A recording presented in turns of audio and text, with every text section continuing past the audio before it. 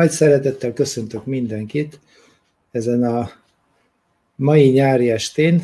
Köszönöm szépen mindenkinek, mindenkinek a visszajelzést Ausztráliától a 17. kerületig, és Békés Csabától felvidéken át, Nagyváradon át egészen Székelyföldig. Mindenkit nagy szeretettel köszöntök a mai eh, webkonferencián. Egy nagyon érdekes szindrómáról lesz szó, aminek a neve von Hippel-Lindau szindróma, és miután ennek utána néztem, hát kiderült, hogy germánosan úgy fogalmazhatnánk meg, hogy intenzív harc a túlélésért és a falatért. Hát nem véletlenül fogtam hozzá ennek a szindrómának a megfejtéséhez, mert hát volt ilyen szindrómával érkező paciens, akinek végignéztem a teljes szakirodalmát, és ezek a dolgok, amelyek itt szóba fognak kerülni, hát ezek ez részben benne vannak, de tudjuk nagyon jól, hogy nem kell minden tünetnek jelen lennie a medicinában ahhoz, hogy a ö, diagnózisként mondjuk egy ilyen gyönyörű kifejezést, hogy von Hippel-Lindau szindróma az ember megkaphassa. Mindjárt megfejtjük, hogy mit kell nekünk azért tenni, hogy ezt a fantasztikus díjat megkapjuk a medicinában, de ahhoz, hogy ezt megértsük, az mindenképpen bele kell vágjunk röviden abba, hogy mi is az a germán gyógytudomány, hogy megértsük azt, hogy azok a dolgok, azok a tünetek, amelyek jelentkeznek, azok nem véletlenszerűen jelentkeznek, és nem a betegség okoz egy családi viszályt, hanem a családi viszály okoz betegséget. Már is valami nagyon lényegesen rámutattam. Nos, tudjuk jól, hogy a germán gyógytudomány azt Halmer doktor munkásságának köszönhetjük. Ő az a fantasztikus orvos, aki ezt a tudományt számunkra leírta. És a szavait idézve orvosoknak és betegeknek írta, akiknek szívük és józan eszük van. Ez egy nagyon lényeges megállapítás, vagy kijelentés Hammer doktor részéről, mert nem elegendő a logikus gondolkodás, a szívünket is mellé kell tenni, különben a megoldásban alul maradunk. Hammer doktor élete a germán gyógytudomány felfedezéséről szólt, miután a 19 éves fiát az olasz trónörökös 1978. augusztus 18-án álmában egy csónakban aludt, lelőtte, és 111 napi agónia után ez a fiatalember visszadta a lelkét a teremtőjének. Itt láthatjuk a képen Dirk Hamert, azt a 19 éves fiút, akinek a neve a DHS kritériumaiban is benne van. Miről szól a történet? Hammer doktor karjai közt hal meg ez a 9, 19 éves fiú, és ezután rövid idővel, két hónap múlva Hammer doktornak herredaganata lesz, és a, mivel addig semmilyen betegsége Hammer doktornak nem volt, ezért elgondolkodott, hogy a, az ő heredaganata a fia halálával, vagyis elvesztésével kapcsolatban alakulhatott ki. Heimer doktor műtéti kezelésbe belemendese, kemose sugárkezelést nem vállal be. A kedves kollégák kevesebb, mint egy százalék túlélést jósolnak neki, ennek ellenére Hammer doktor teljes mértékben felépül, és megjegyzi, hogy pokoli kínok következtek, amelyek a gyógyulásnak a tünetei voltak. És amikor felépül egy nőgyógyászati ráklinikán, dolgozik, mint belgyógyász főorvos, és természetes, hogy megkérdezi az ottani betegeket arról, hogy az ő életükben a daganat kialakulása előtt nem volt-e egy nagyon váratlan, meglepetésszerű történet, amit magányosan éltek meg, és egy nem tudtak ki nem tudták magukat túltenni rajta egyik napról a másikra, tehát benne maradtak a konfliktusban. És hát természetes, hogy mind a 200 megkérdezett betegnél a válasz igen volt, és ezek után Hammer doktor leírja a DHS kritériumait, amit a fiáról Dirkhammer szindrómának nevezünk. Na most itt a szindróma tüneteknek a, az együttállását jelenti, tehát olyan helyzetek, amelyekben egy nagyon súlyos félelmet élek meg, ami váratlanul tölt rám, és magányosan éltem meg, ebben a pillanatban ez a lelki megrázkódtatás, tehát érzelmi megrázkódtatás, félelem, az agy közvetítésével elindít egy szervi választ. Természetesen ez akkor lesz egy nagyon intenzív szervi válasz, ha benne maradunk a konfliktusban, és ezért az első és legfontosabb dolgunk, az lenne, hogy kilépjünk a konfliktusból. Vagyis nem újjék el nap a haragunkkal, zárjuk le a mai napunkat is, érzelmileg. Mit jelent az, hogy érzelmileg lezárni? Azt jelenteni, hogy mondjuk megértéssel, megbocsátással, elengedéssel, elengedem azt, amit nem tudok változtatni, elfogadom azt, ami történt, amit nem tudok változtatni, és a végén még hálát adok mindazért, ami történt, mert megkeresem benne a tanítást számomra. Nos, ha ezt megtennénk minden este, itt be is fejezhetném a mai webkonferenciát, és mindenki érezze jól magát. De nem ilyenek vagyunk az agyunk az zakatol, az egyfolytában mondja, mondja, mondja a magáét, nem vagyunk képesek megjelenni a pillanatban, és még mindig a múlttal foglalkozunk. Kérem szépen, a múlt az történelem. De láthatjuk, hogy a történelmet mennyiféleképpen le lehet írni, ugye? Mégis változik egyre a múlt, bajba kerül, aki jól tanult, énekelte Zorán. Hát hányféle múlt van? Annyiféle múlt van, ahányféle visszaemlékezés van. Csak az a kérdés, hogy én mit fogok ebből a múltból magamnak ma leszűrni. Még mindig a fájdalomban vagyok, még mindig benne maradtam abban az érzelmi világban, vagy végre hajlandó vagyok az eddigi életemet lezárni érzelmileg úgy, ahogy felsoroltam. Ez a legfontosabb dolog volna, amit ha megtennénk, nem lennének krónikus betegségeink sem.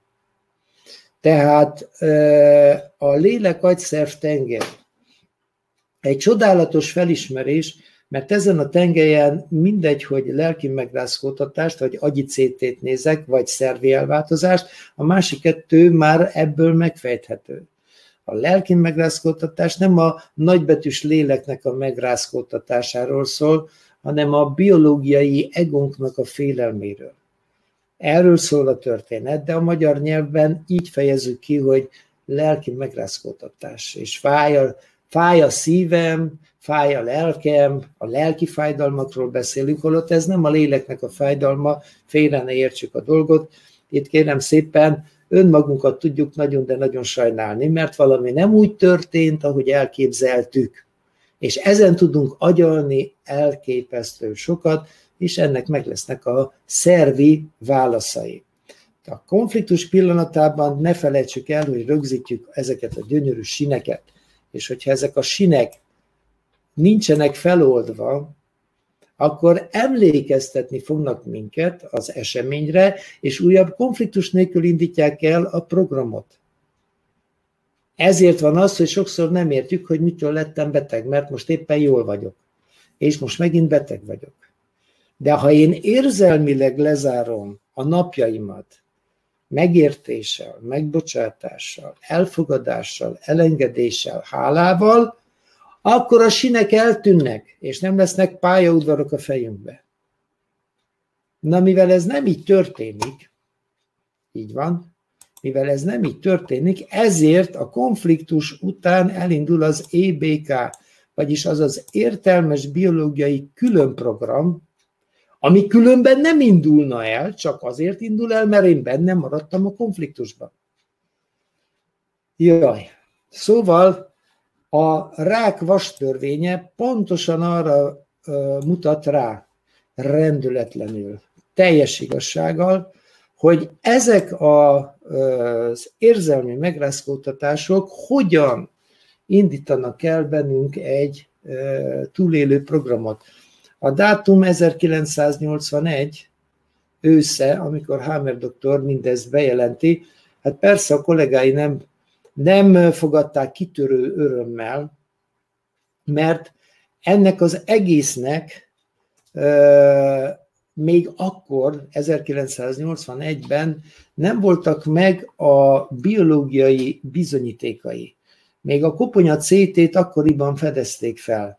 Még nem lehetett, Hammer doktor tudta, hogy az agyban mindenképpen lenyomata kell legyen annak a félelemnek, amit mi a DHS pillanatában megéltünk. Aztán telnek az évek, és röviddel az első után Hammer doktor fölfedezi a második természettörvényt is, de egy lényeges dolgot ne felejtsünk el rögzíteni, hogy mindenki számára az egyetlen valóság a saját megélése.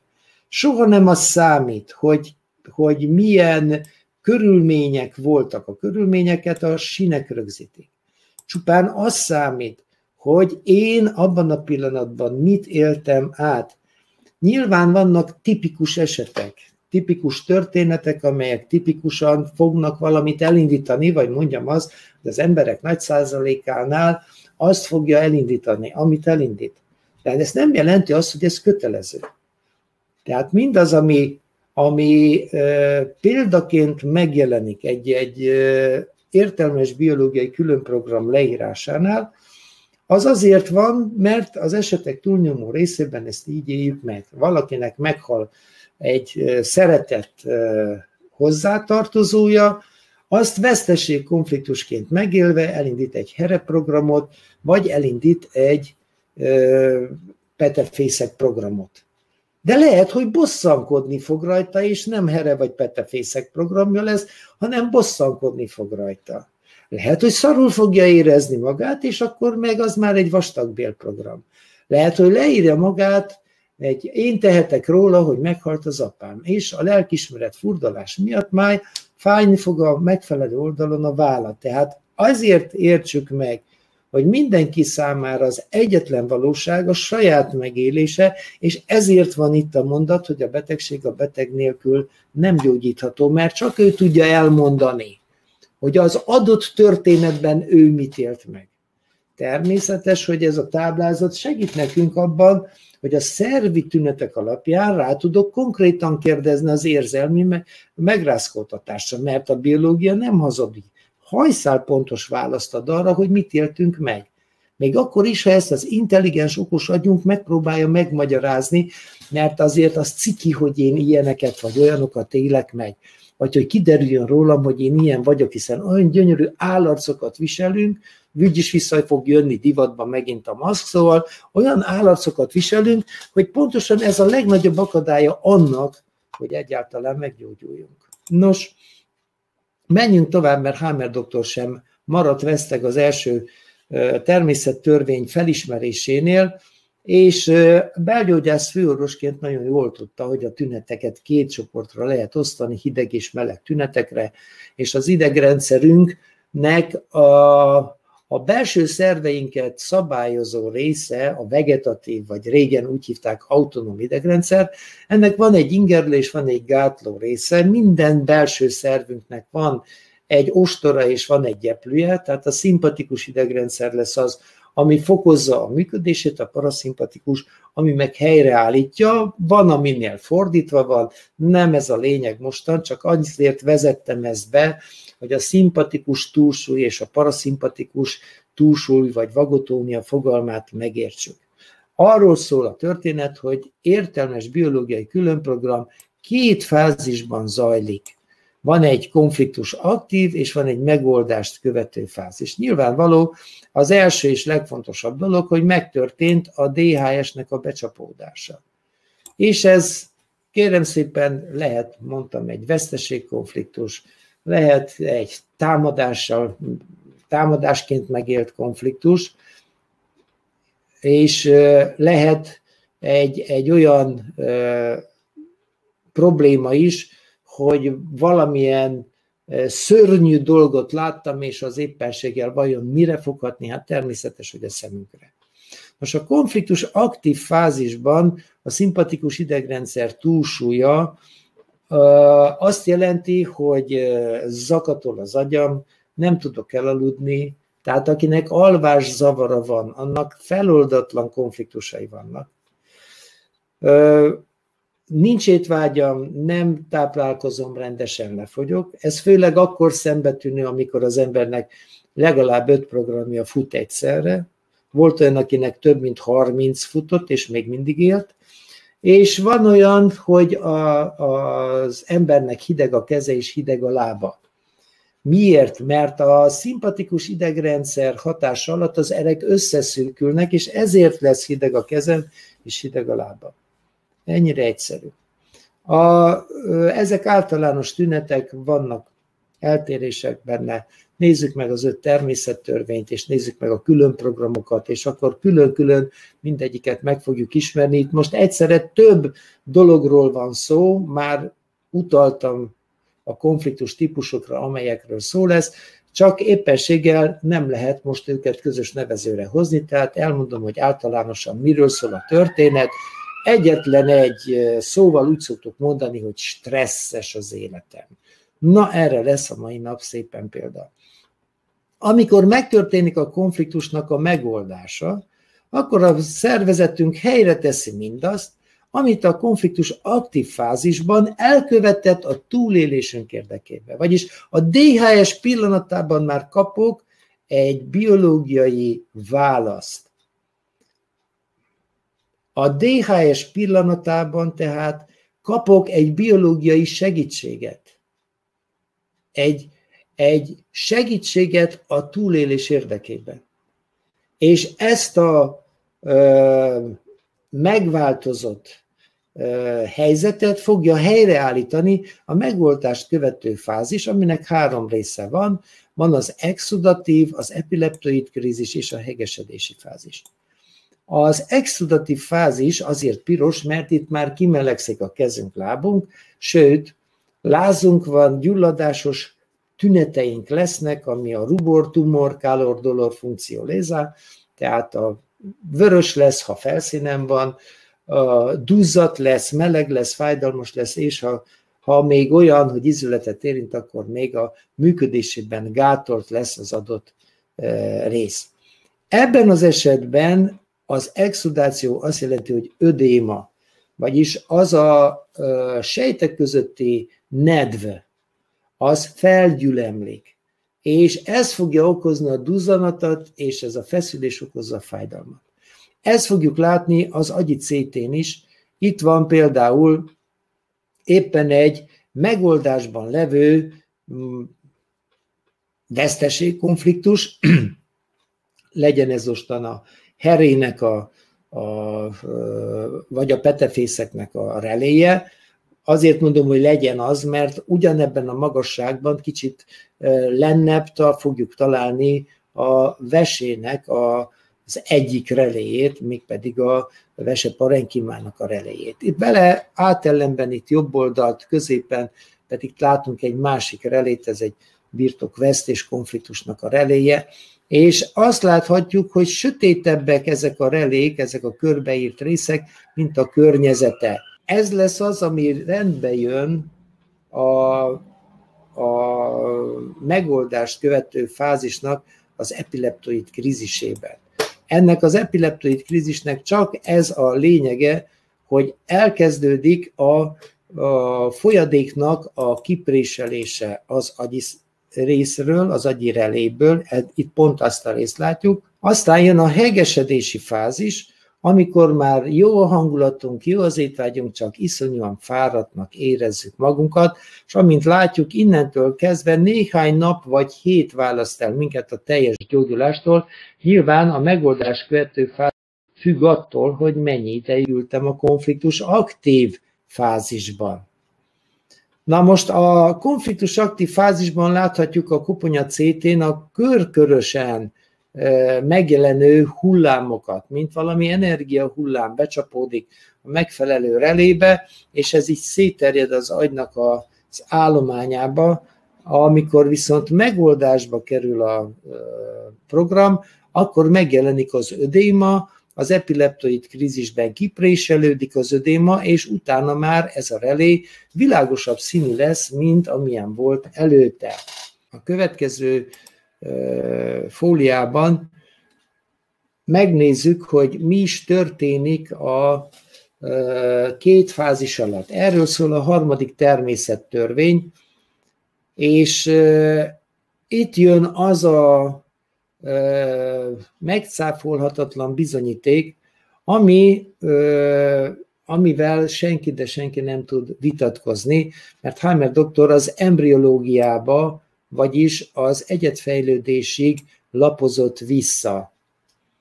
Az embriológia tehát azzal a kilenc hónappal foglalkozik, ami, amit mi a megtermékenyítéstől a születésünkig az anyamében eltöltöttünk.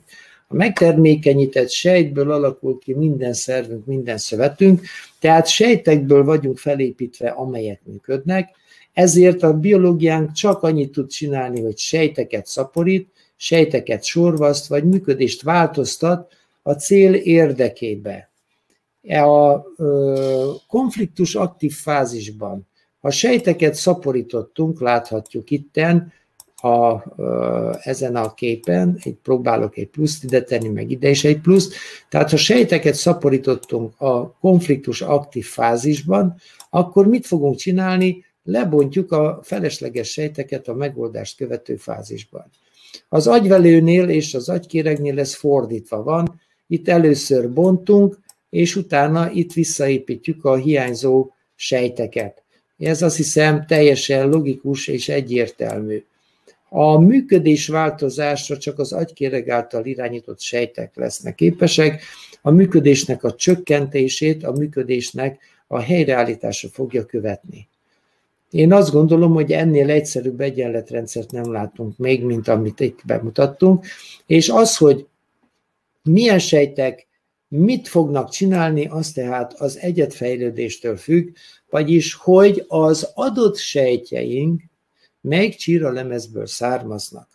Ezért nagyon lényeges a csíralemezeknek a megismerése, és a csíralemez eredetnek az ismerése, mert ha tudom egy adott szerv sejtjeinek az eredetét, akkor tudom azt, hogy milyen konfliktus vonatkozik rá, és mi történik vele a konfliktus aktív és a megoldás követő fázisban. A ezen a képen baloldalon azt a sejttömörülést látjuk, ami a szedercsira állapotból alakult ki. Ugyanis a megtermékenyített sejt az osztódik, osztódik, létrejön, mint egy szeder, egy olyan sejtömeg, ami előtt ez fölveszi a kapcsolatot az anyai mély nyálkahártyájával, átalakul, és ez a, ezt a három csiralemezt fogja létrehozni, amit itt látunk a pirossal a külső csiralemez ektoderma, a narancssárgával a középső csiralemez vagy mezoderma, és itt belül a sárga színnel jelölve az endodermát fogjuk találni, vagy belső csiralemezt. Ezekből a sejtekből meghatározott sejtek alakulnak, és azok egy életen át a betöltik a feladatukat. Nincs olyan, hogy az egyik csiralemezből származó sejt gondoljon egy nagyot, és átalakuljon egy másik csiralemezé, csiralemezből származó sejté. Ilyen nem létezik, ez, ez biológiai képtelenség. Azt is láthatjuk, hogy ezeket a sejteket megfelelő idegi központok vezérlik, nem kell ezt most megtanuljuk, csak azért vetítettem ki ebben az összefüggésben, hogy lássuk, hogy a biológiában rend és harmónia uralkodik, meg hierarchia. Tehát itt nincs összevisszaság, hál' Istennek, mindig mondom, nem demokrácia van a biológiában, hanem hierarchia, tehát a, az áttéteknek az illúzióját, meséjét felejtsük el, amikor azt mondják, hogy valakinek áttéte van, na ott veszik el tőle az utolsó reményt is. Holott ez csak azt jelenti, hogy vagy éppen lebontja, gyógyulási fázisban van, és lebontja a felesleges sejtjeit, ezért jelenik meg a nyírok csomóban a környéki nyirokcsomóban egy duzzanat, mert éppen gyógyul, azt mondják, hogy átétje van, és akkor bedobja a törölközőt a beteg, vagy azért jelenik meg máshol valami, mert még elindított pluszbe egy programot. Mert ha valakinek azt mondják, hogy heredaganata van, nem megy át a fején, hogy ja Istenem, meghalok. De hogy nem. És mi lesz a következmény? Hát tüdőszövet szaporulat. Vagy ha elhintik a világba, hogy olyan járvány van, hogy ebbe mindenki belehalhat, akkor mit csinál? Belehalhat, ja Istenem, meghalok, féltem magamat, féltem a családomat, ez már birtokféltés is, és akkor a tüdőmet tökéletesen tönkretettem, mert a tüdőszövetet is, meg a hörgőket is elindítottam egy értelmes biológiai különprogrammal. Tehát értsük meg, hogy az egyetlen halálos betegség a félelem. A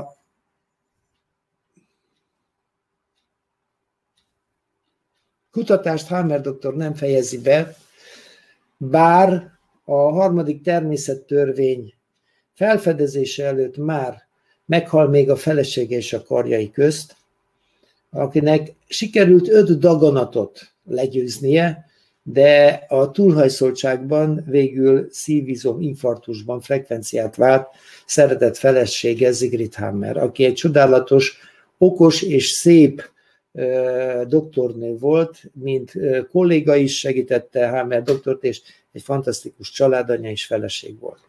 És ezek után még mindig folytatja Hammer doktor a kutatást. Mert a fia álmában megjelenik, és szól neki, hogy még van mit felfedeznie. De nem mondja meg, hogy mit. Nem mondja meg, hogy hány törvényről van szó. Hammer doktor folytatja a kutatást, és rávilágít arra, hogy a bennünk élő mikroorganizmusok, mikroszkóppal látható picinke, kicsinkó élőlények, ezek a mi barátaink, nem az ellenségeink. Ezek fognak segíteni nekünk lebontani a felesleges sejteket a, a, ebben a, a, az agytörzés a kisagy által irányított programokba, illetve fognak segíteni visszaépíteni a hiányzó sejteket, akkor, amikor az agyvelő vagy az agykéreg által irányított programokat futtatjuk.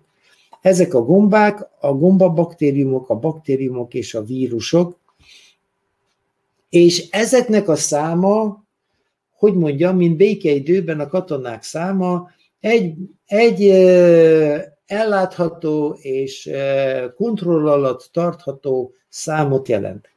De amikor elindul a konfliktus, akkor ezzel együtt elindul az agytörzsi és kisagyi programoknál a gombák és gomba baktériumoknak, vagyis TBC baktériumoknak a szaporulata is. Miért? Hogy mire eljutok a megoldásba, addigra pont annyian legyenek, amahányan szükségesek ahhoz, hogy lebontsák a felesleges sejteket. Mit csinálunk mi? Kiírtjuk őket antibiotikumokkal. Tökéletes. Tessenek kérem szépen egy házat úgy felépíteni, hogy amikor kijönnek a munkások dolgozni, azokat lelőjük az a ház soha nem fog felépülni. Itt, itt rengeteg tisztázandó dolog van, ami, amit szögesen ellentétes azzal, amit ma a medicina tanít. Én aláírom azt, hogy kimutathatóak ezek a kórokozóknak nevezett stafilokókuszok, streptokókuszok és mindenféle dolgok, de ne felejtjük, hogy ezt nem kívülről kaptuk ez a mi szervezetünkben azért szaporodott el ennyire, mert túl hosszú volt a konfliktus aktív fázis. Na itt van az, hogy megint csak annyit kellene csinálni, hogy zárjuk le békével a napjainkat. És akkor nem lennének ilyen felesleges problémáink. Ezt kellene megérteni még mindig, hogy zárjuk le békével a napjainkat. Ez egy nagyon, de nagyon fontos dolog lenne. És akkor miért lesznek krónikus betegségeink?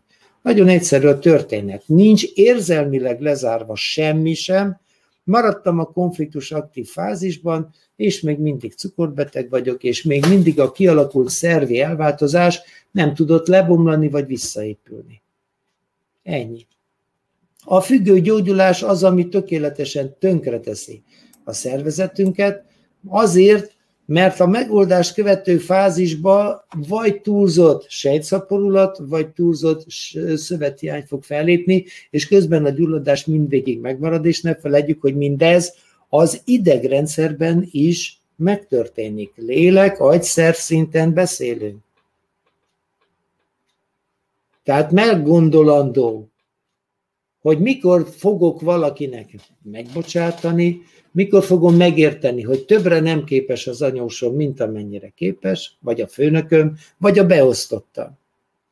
Mikor fogom elengedni az elvárásaimat, mert csak attól csak én fogok megbetegedni, mikor fogom, mikor fogom elfogadni a valóságot olyannak, amilyen, és mikor fogok tudni hálát adni minden napomért.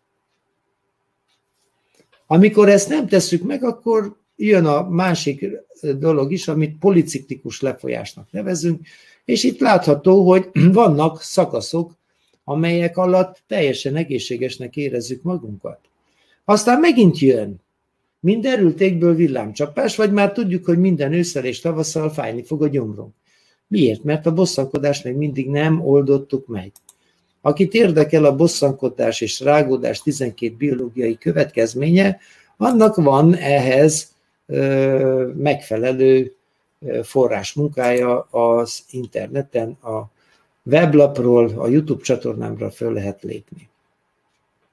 És az ötödik természettörvényt, mikor Hammer doktor felfedezte, akkor megint megjelenik a fia mosolyogva, és megnyugtatja az apját, hogy most már mindent felfedezett, megnyugodhat. Nincs további felfedezni valója. Miről szól az ötödik természettörvény? Arról, amit bárki felfedezhet magának, ha kinéz az ablakon, ha megfigyeli a természetet. Tehát kérem, egy 7 éves gyerek is el tudta mondani, hogy vajon az élőlények odakint miért küzdenek minden nap. Hát, hogy életben maradjanak, vagy nem. Tehát a túlélésért, és ezen belül a faj fenntartásáért. Túlélés és fajfenntartás. Ez a lényeg megértésének a törvénye. Na most, ha minden bennem a túlélésért és a faj fenntartásáért történik, akkor van valami rossz indulatú dolog bennem, vagy ismeretlen? Ilyenek nincsenek. Se jó, se rossz indulat. A biológia a túlélésért közt. A jót meg a rosszat az agyam találja ki, mert minden jó, ami a biztosítja a túlélésemet, a kényelmemet, a nyugalmamat, a biztonságomat, és természetesen minden rossz, ami nem ezt csinálja. Hát nem? Hát de. Tehát értsük meg, hogy a, amit betegségnek nevez a medicina, az valójában a gyógyulási fázisa az értelmes biológiai különprogramnak. Ott jelenik meg a gyulladás. Ha túl hosszú volt a konfliktus aktív fázis, igen, szükségesek ö, beavatkozások, gyógyszerek. Erre szükség van. Az esetek 5%-ában. Igen. Van erről külön a terápiáról egy webkonferencia anyag, tessenek megnézni. Hammer doktor ö, téziseit a Tübingeni Egyetem nem akarta elismerni, pedig bíróság kötelezte rá, hogy foglaljon állást, hogy Hammer doktornak igaza van, vagy nincs igaza. De a Tübingeni Egyetem, ahol ugye Hammer doktor végzett, és ahova ő beadta a dolgozatát a új medicinával kapcsolatban, szóval ott, ott egyáltalán ezt az egészet leseperték az asztalról. Tehát egy, egy egyetem megteheti azt, hogy egy bírósági döntést, végzést figyelmen kívül hagyjon. Én nem tudom, akkor az egyszerű ember ezt miért nem teheti meg? Adjuk meg a választ rá. Viszont a Nagyszombati Egyetemen megtörtént a csoda, és egyetemi vizsgálat történt, tehát itt láthatjuk ezen az igazoláson a, a, azokat az aláírásokat, amelyek hitelesítik mindazt, ami az ott megvizsgált betegekkel kapcsolatosan megállapítást nyert.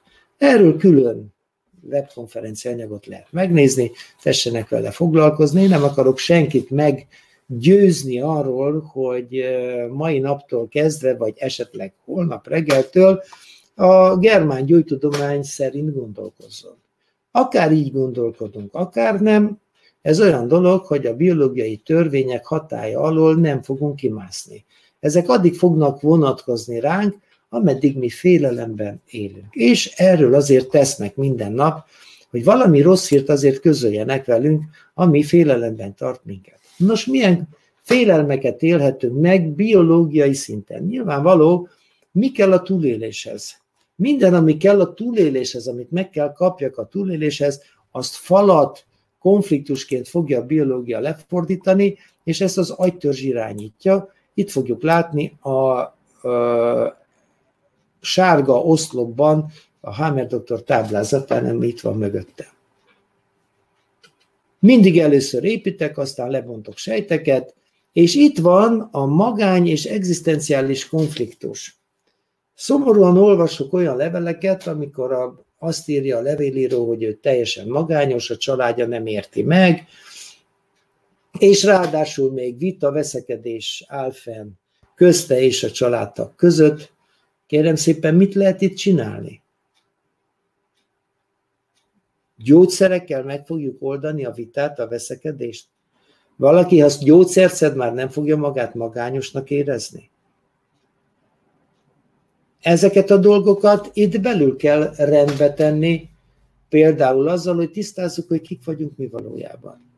De amikor magányosak élem meg a helyzetemet, sőt, egzisztenciális problémáim vannak, nem tudom, miből fogok élni, elvesztettem a munkámat, nem tudom fizetni a banki adóságaimat, ez mind azzal jár, hogy a vizet visszatartjuk a szervezetünkbe, és ezt fontosabb lenne megérteni és megoldani, mint a, mint a szívinfarktusnak a, a témakörét megismerni. Mert ez az, a, ez az az érzés, a magány és egzisztenciális konfliktus, ami mindent, de mindent padlóra tud tenni.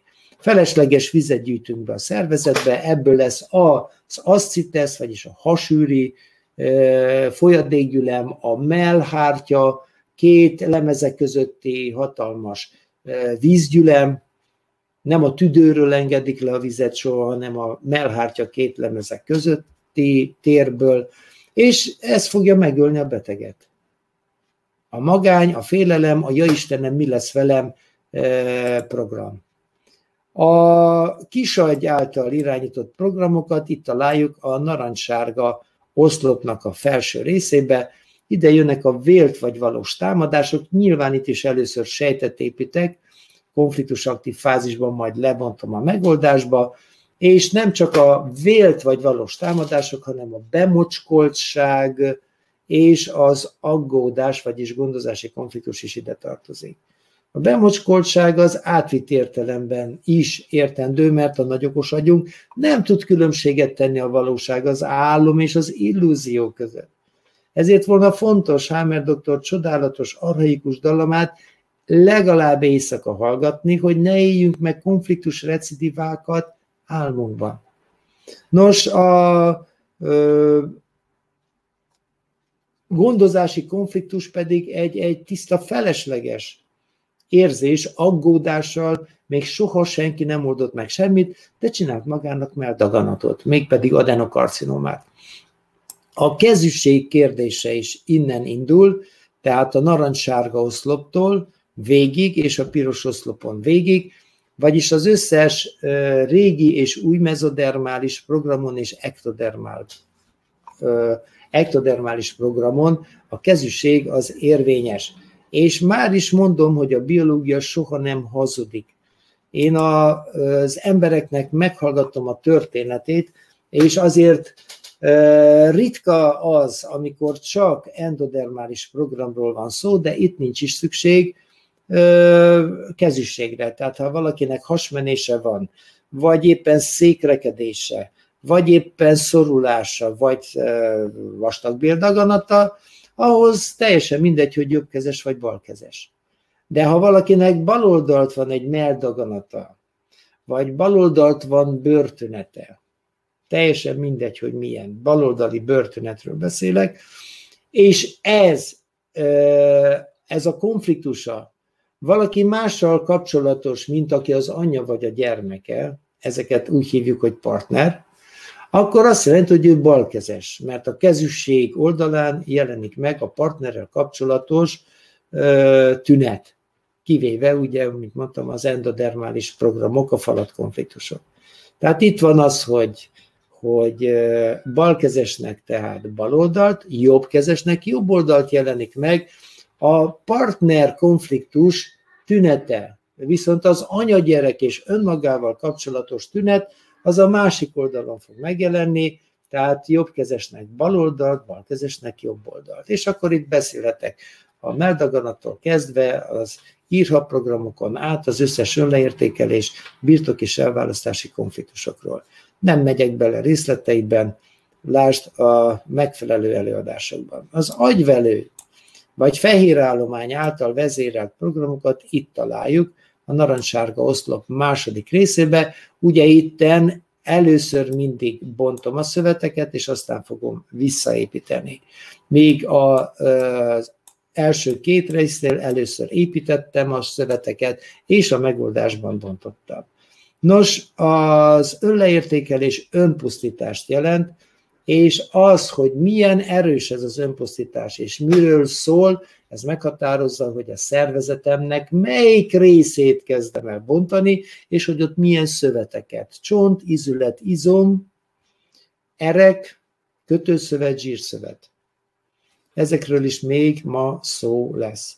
És aztán jön az agykéreg által vezérelt program, ami ugye a piros mező. Itt is először sejtszinten bontok, és utána visszaépítek, illetve a működés változásnál először gátlom a dolgokat, a működéseket, és utána a működést visszaállítom. Remélem, hogy ezzel a belefirkált plusszal, minusszal és nyilakkal mindenki számára érthető, hogy akkor miért úgy alakul ki valami, ahogy kialakul. Csak az öl meg, amit nem tudsz elengedni, van benne egy összefoglalás ebben az útmutató az egészséghez című könyvbe, és remélem holnap mindenki megkapja, aki eddig elküldte a megrendelését, hiszen ma a futárszolgálat elvitte a könyveket. A kérdés tehát az, hogy miért élünk meg konfliktusokat. Ugye itt kellene kezdeni a történetet, miért élünk meg konfliktusokat, hogyan tegyük feleslegessé. Mindig lesznek konfliktusok az életünkben, mert hirtelen, váratlanul valamilyen történet meg tud lepni minket. Ha valaki tudna erre biztosítást ajánlani, akkor szóljon. Rendben. Tehát ez előfordul a további életünkben is, de hogy meddig maradok benne a konfliktusba, az csak és kizárólag tőlem függ. Ezt remélem mindenki megérti. Nos, akkor a von Hippel-Lindau szindrómáról utána néztem, hogy ki is ez a Hippel és ki ez a Lindau úriember. Ez az Eugen von Hippel, egy német szemész, itt látjuk, baloldalt. A 1904-ben írja le a szemben azt az elváltozást, angiomát, amit ő aztán angiomatózisnak nevez, tehát egy ér elváltozást ír le a szemben. Egy német szemészről van szó. Lindau, a teljes nevén Arvid Wilhelm Lindau, ő később, ugye 26-ban írja le a retinának ezt az angiomáját, és nézzük meg, hogy a von Hippel-Lindau szindrómáról mit ír a medicina. A tünetek azok igen változatosak, láthatjuk, hogy fejfájástól kezdve egyensúly, akkor járási nehézségek, szédülés, végtaggyengeség, látási problémák, magas vérnyomás. Érintett szervek, ugye a szem, ebben mutatják ki az angiomatózist, az érdaganatot. Vannak agytörzset, kisagyat érő tünetek, ez az úgynevezett hemangioblastoma, és erről akkor te azt nyit kell tudni, hogy a, az ereknek, tehát a belhártya sejtjeiből kialakuló szövetszaporulat, viszont ami a gerincvelőben alakul ki, vagy a kisagyban, agytörzsben, ott a véragygát felépítésében résztvevő erek és gliosejtek szaporodásáról beszélünk, de ez a legritkább dolog a patológiában, kevesebb, mint 2%-ot tesz ki a hemangioblasztoma megjelenése a központi idegrendszerben. Aztán van a mellékvese velő programja, meg vesegyűjtő csatorna programja, és akkor haba tortán még egy kis hasnyálmirigy, belső fül,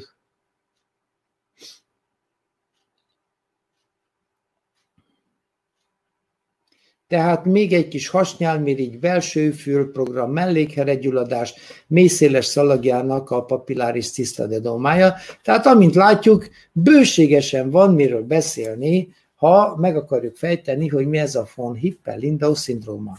Tehát amikor, amikor a konfliktusom az, a DHS, hogy látni se bírom, rá se tudok nézni, mert az a látvány, ami ami eltöltött engem, ami, ami, ami az emlékemben ott van, nem tud kimenni.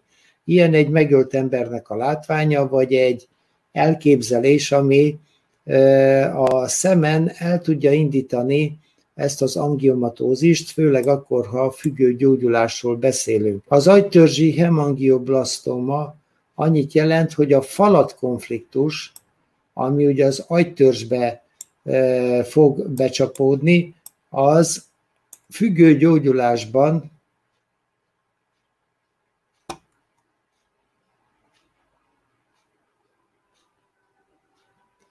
Tehát függő gyógyulásban a, hámeri góc körüli jelek túlburjánzanak. Az a helyzet, hogy többet építünk vissza, mint amennyit lebontottunk. Ez a agytörzsi hemangioblasztomának a következménye, mert ugye az agytörzsbe a falat konfliktusok fognak becsapódni. A kisagyba a támadástól való félelemre fog létrejönni az írha relében, itt látható az írha relé, itt látható a, a függő gyógyulással az ereknek a túlburjánzása, ez a függő gyógyulásnak a, a következménye. Aztán a mellékvese velő az feokromocitoma kialakulását fogja eredményezni, ha ez a DHS folyamatosan elviselhetetlen stresszként szabadul ránk. A konfliktus aktív fázisban építünk, építünk, építünk sejteket, ez lesz itt a mellékvese velőben a szöveti elváltozás, pontosan azért, hogy a stresszhormonok álljanak rendelkezésre. A függő konfliktus aktivitás az, ami itt a sejtek szab, túlszaporodását létrehozza, tehát hogyha az elviselhetetlen stressz egy folyamatos dolog az életünkben. A vezsegyűjtő csatorna szindróma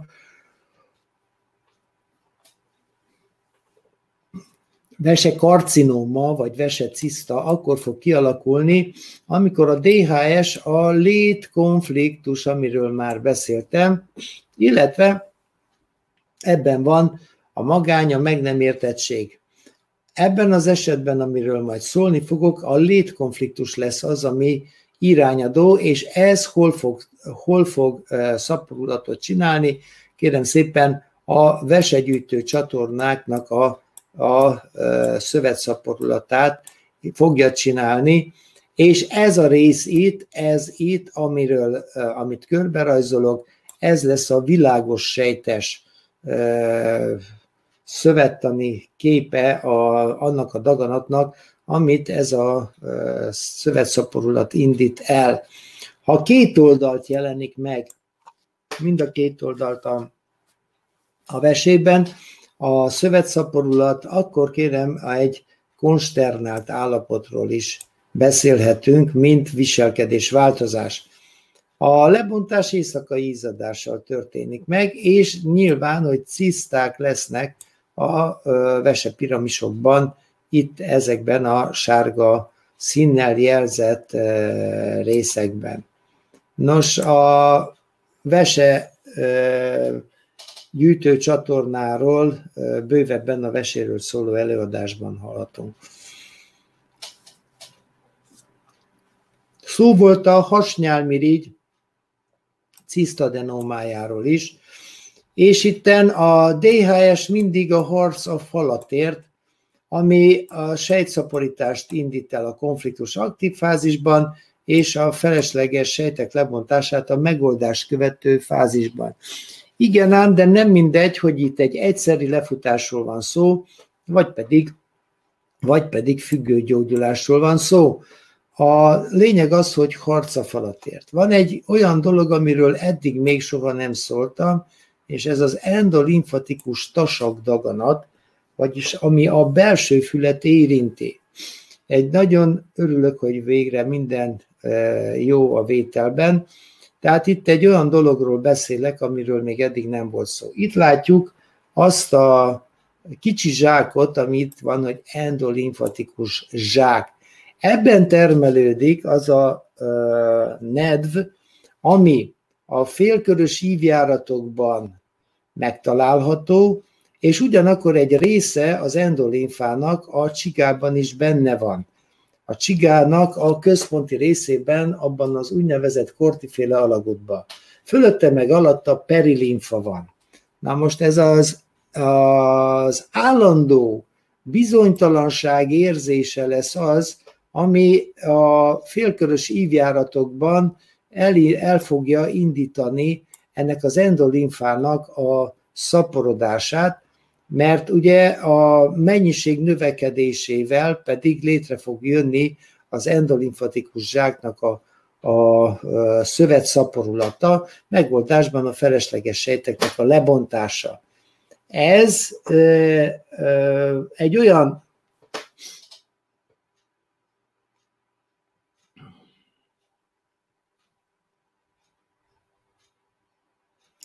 Ez tehát egy ugyanolyan net termelő, endodermális eredetű szövet, mint ami az agykamrákban termeli az agygerincvelői folyadékot. A lényeg, ha állandó bizonytalanság érzése. A mellékhere gyulladás, vagy epididimitis, kinek hogy tetszik jobban, ez a Herék programjával párhuzamosan futó program. A lényeg, hogy itt is vesztességkonfliktusról beszélünk. A hölgyeknél a mély széles szalagjának a papilláris cisztadenómájáról ír a szakirodalom, mi is ez a csodálatos elnevezés. Itt látjuk a méhet, és itt látjuk a méhet beborító hashártya a támadási konfliktusok következtében övön aluli támadások a nőiesség ellen, a, a sejtszaporulat indul el, a ligamentum látum szövetének a szaporulata, megoldásban pedig a lebontásuk, függő gyógyulásban, és persze az állandó egzisztenciális félelemben a papilláris cisztadenoma fog kialakulni, tehát ez a ligamentum látum az, ami a mélyet rögzíti a medence falához, ez, stabil, ez tartja stabilan. Az övön alul írtések hatására viszont létrejönnek a megfelelő szöveti elváltozások, amikor uh, szerózus ciszta, cisztaomáról beszélünk, akkor gyakorlatilag csak egyetlen konfliktus történt, viszont függő gyógyulásban papilláris cisztadenoma alakul ki, ami azt jelenti, hogy szabálytalanul elhelyezkedő kinövések alakulnak ki. Ennyi a szövettani eltérés. Végre látom és hallom. Nos, akkor a szakirodalom leír egy eh, családi viszályt, és hogyha ezt innentől mindenki fogja hallani, akkor megérti az összefoglalóban mindazt, amiről esetleg eh, kevés információt kapott meg az állandó internet probléma miatt. A Hatfield McCoy viszály egy ismert régi történet az amerikai történetben, és a Vanderbilt Egyetemnek az endokrinológusa azt találgatta, hogy ez ennek a viszálynak a hátterében áll a Hippel-Lindau-kor. Na itt van az, amin pontosan megfoghatjuk, hogy milyen a mai orvosi gondolkodás. Kérem szépen, a viszály okozta a Hippel-Landau-kort, és nem ez a Hippel-Lindau-kor okozta a viszályt. Tehát fordítva ülünk a lovon. Mindjárt megértjük a germán gyógytudomány ismeretében, hogy ez miről is szól. Tehát ez a cikk, amit ez a kedves endokrinológus írt, azt sugalja, hogy a család hajlamos volt a rossz indulatokra, mivel sokuknak feokromocitómája volt. Érem szépen. Megint a, ez, azért is örülök ennek a ismertetésnek, mert megint rámutatta arra, hogy egy következményt nevez ki a medicina kiváltó oknak, és utána ezt lehet kezelni egy életen át. Miről szól ez a Hatfield McCoy viszály? Hát itt láthatjuk a térképen, hogy itt a két folyó vízválasztójában, Nyugat-Virginia és Kentucky határában történik az egész. Nos, akit érdekel, az írja be ezt a Hartfield mccoy viszályt a keresőbe, és akkor részletesen elolvashatja, hogy mi minden történt ez alatt a 28 év alatt, ami alatt ez a két család gyilkolta egymást. Már az amerikai polgárháború ö, megtette a hatását. Földvitták, és utána a bosszú gyilkosságok sorozata. Az eredmény az, hogy több mint egy tucat megölt családtag mindkét oldalon. Végül kilenc hátfeldi börtönbe kerül, heten életfogytig, egyet kivégeznek, egy szabadul 14 év után. Itt láthatjuk, hogy a, milyen eredménye lett ennek az egész viszálynak. Ez a több mint egy tucat megölt családtag mindkét oldalon azért elgondolkodtató, és aztán végül a börtönbe helyezettek között egy szabadul 14 év után. A kitartó harc tehát létkonfliktust, állandó létkonfliktust okoz, és elindítja a veseprogramot, a világos sejtes sejtszaporulatot, a fokozott stressz az viszont feokromocitómához vezet, vagyis a mellékvese velő túlszaporodásához. A harc a falatért az hasnyálmirigy programot fog fenntartani, és a, a, a gyűlölet, hogy látni se bírom, ez pedig e, fenntartja a szemprogramot. Nyilván, hogy a szemprogramhoz hozzátartoznak azok a gyilkosságok is, amelyeket a mindkét család elkövetett, és hát a legyilkolt embereknek a látványa azért az egy olyan megmaradó emlékkép, ami elindítja a retinán a megfelelő szöveti elváltozást.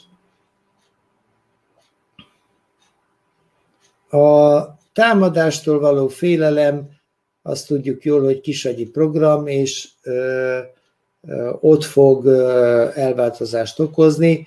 Az állandó bizonytalanság a szédülést okozza, a veszteség konfliktus a mellékheregyulladást, és a nőket ért támadások a mély széles szalagjának a cisztadenómáját fogja létrehozni.